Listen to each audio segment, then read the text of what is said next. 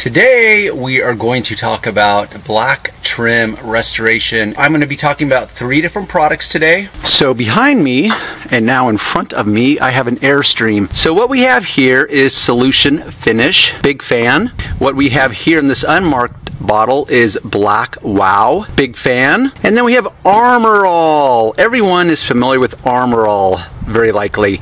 Not a huge fan, let's just say that. So I'm going to demonstrate on a couple things. For example, this Airstream, this material and this decal, for lack of a better word, is like a rubberized vinyl type of raised emblem decal. It's not rigid, it's not hard, it's not made out of plastic, it's not made out of metal. It's like a rubberized material, but it does weather. And by weather, I means that it degrades. This material, like anything else, when it's exposed to the weather and the elements of outdoors and just over time will degrade. So there's some various points. Like for example, look at on this emblem, same type of material, but this is so bad that and also because these emblems are smaller that the wax is still left in the seams.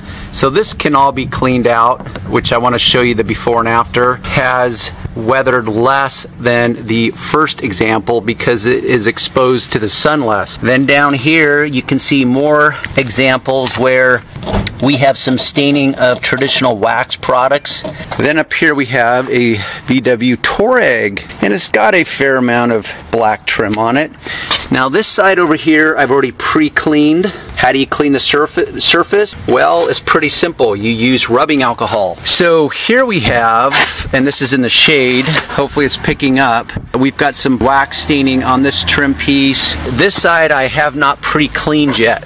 And so I want to show you this. There's all kinds of gunk underneath it that needs to be cleaned. Now this is not all due to staining from wax, just this white stuff right in here, that's from wax. The rest of this is road grime and that comes in endless types of material.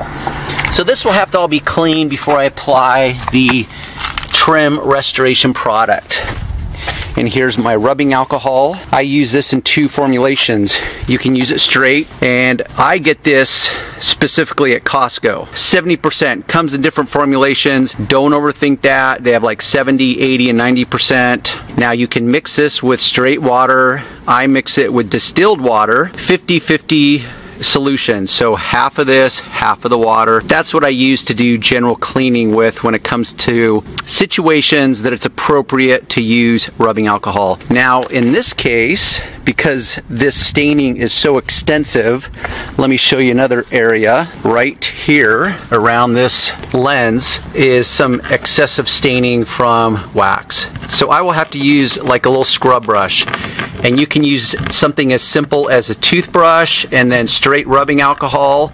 Now some plastics or rubberized materials like this stuff, the alcohol will start to break it down and what happens is it kind of turns into a gooey type of feel to it.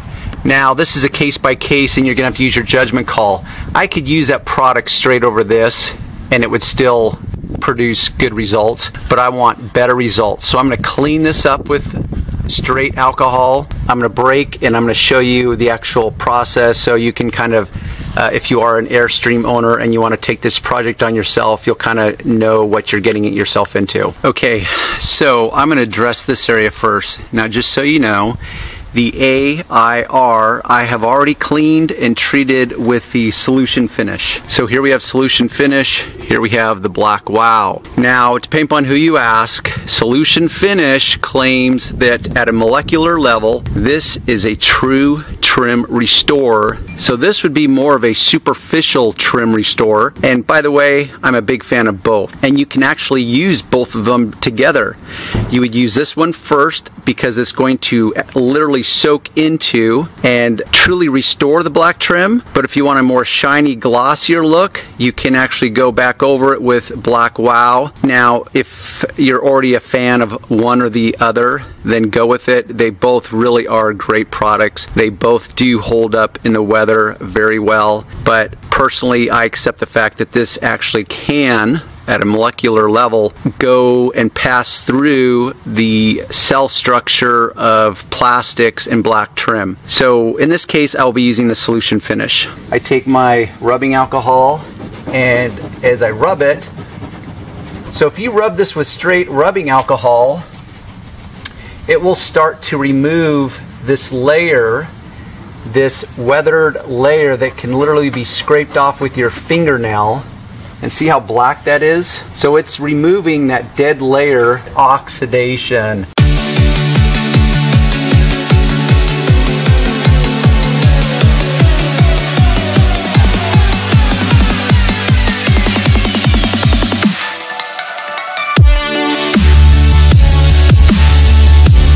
I'm cleaning off that layer of dead material so that it's now ready to receive the black trim restoration product that I've chosen, which is Solution Finish. Okay, I finished cleaning that dead layer off, and if you noticed, whilst I was cleaning, it left a bunch of residue. So what happens is that as I'm cleaning off that dead layer, what it does is it pulls some of that residue or it leaves a residue on the surrounding material. Now rubbing alcohol is not going to damage or hurt the clear coat. So this is where I take my mixture of alcohol and distilled water, 50-50 blend, and I just spray over it. And you can see that even when I use the alcohol on it, it still remains black. So it's pretty cool. Here we have Solution Finish. So Solution Finish is very unique in that if you did a side-by-side -side comparison, an orange type of gel, it's very greasy feeling. This is actually black and you could call it a dye, although some people for some reason they hate that word. It's like, oh, you're just dyeing it. It's not going to last because it's just like a superficial coating it's like, well, guess what? When they dye fabrics, guess what? It soaks through and it becomes permanent. So I don't know why, and maybe you're not questioning this, maybe you are, but even if you want to call it a dye, it doesn't really matter, not in my world, because really that's what I want to do is I want a, a, a solution that will actually penetrate the material and become permanent.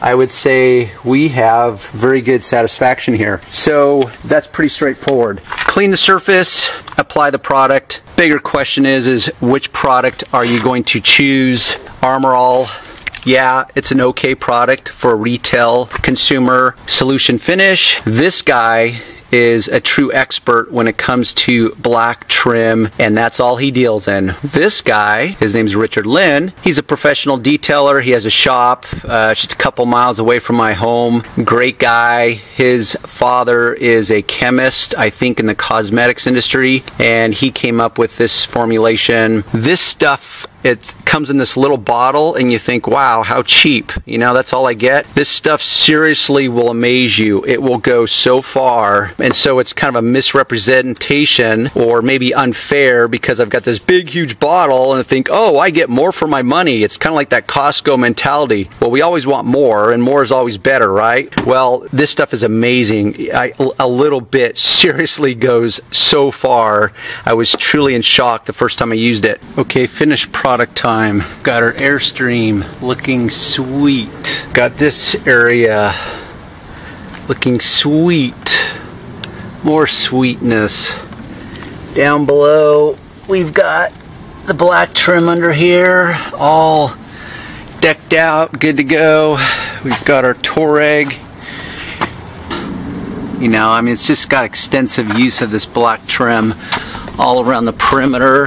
And then when you go in the front, it's even worse because you've got all up underneath here. Now I did not deal with all in here. I would need a sprayer to actually really get that. So this is where you kind of have to make a judgment call. Probably most guys, most customers are not going to get on their hands and knees and take a look at this. But it does happen. Anyhow, so only you can decide as a detailer or as a car owner how meticulous you want to get. but I got very meticulously around these areas because these are visible. Uh, here we are on the other side, looking all nice and black, and um, it does it doesn't feel greasy to the touch. It's not messy, gooey, greasy. It's just a nice. It really restores it to original condition, is what it does. So this is why I'm a fan of the um, solution finish. There is a, a sheen to it, and depending upon which way the lighting shows up. But if this rolled off the dealer lot in this lighting, this would have a natural uh, shine or sheen to it anyways. So it just looks like healthy, brand new black plastic trim. Okay, till next time, folks.